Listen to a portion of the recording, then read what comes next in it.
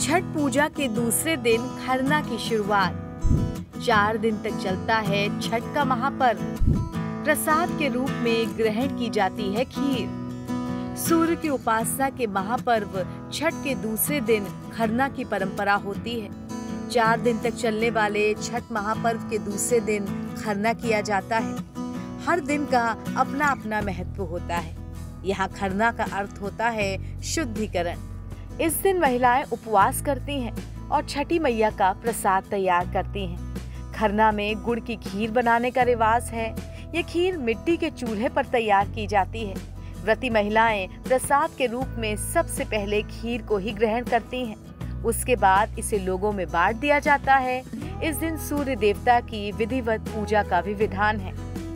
36 घंटे का निर्जला व्रत होता है आरंभ। इस दिन शाम से लगभग 36 घंटे का निर्जला व्रत आरंभ हो जाता है। इस दिन रोटी, गुड़ की खीर और फल का भोग लगाया जाता है। खरना वाले दिन भगवान का विशेष प्रसाद व्रत रखने वाले ही तैयार करते हैं और शाम के समय भगवान को अर्पित करने के बाद ही उसे ग्रहण करते हैं। खरना से जो उपवास आरंभ होता है, वो सप्तमी तिथि के दिन अर्घ देने के साथ समाप्त होता है। इस दिन मिट्टी के चूल्हे पर गुड़ की खीर बनाई जाती है। इसके लिए पीतल के बर्तन का प्रयोग करना महत्वपूर्ण समझा जाता है। ये खीर बहुत ही शुद्धता और पवित्रता के साथ बनाई जाती है, इसीलिए मिट्टी के चूल्हे का प्रयोग होता है। खीर के अलावा गुड़ की अन्य मिठाई, जैसे ठेकुआ, लड्डू आदि भी बनाए जाते हैं। खरना की ये खास खीर सिर्फ़ व्रती इंसान ही बनाता है। पूरे दिन व्रत रखने के बाद शाम के समय व्रती इसी गुड़ की खीर का सेवन करते हैं। शाम के समय व्रत रखने वाले व्यक्ति कमरा बंद कर इस खीर का सेवन करते हैं। इसके बाद पूरा परिवार व्रती से आशीर्वाद भी लेता है। खरना पर कैसे करें दिन की शुरुआत? सबसे पहले सुबह सुबह पूजा स्थल और घर को अच्छी तरह से साफ़ करें। खरना के दिन पूजा करने वाली महिला या पुरुष साफ़ सुथरे वस्त्र धारण करें। पूजा के स्थान पर गन्ने का प्रयोग होता है।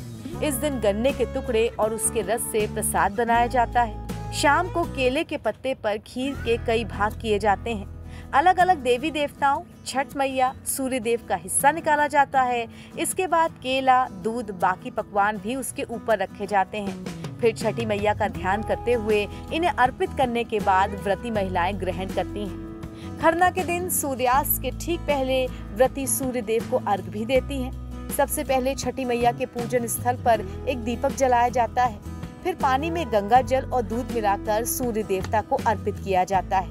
पूजा के बाद सूर्य देवता को प्रसाद का भोग लगाया जाता है और उसे लोगों में वितरित कर दिया जाता है। फिर व्रती स्वयं प्रसाद ग्रहण करती हैं। इसे नैवेद्य भी कहा जाता है। एनबीटी ऑनलाइन की रिपोर्ट।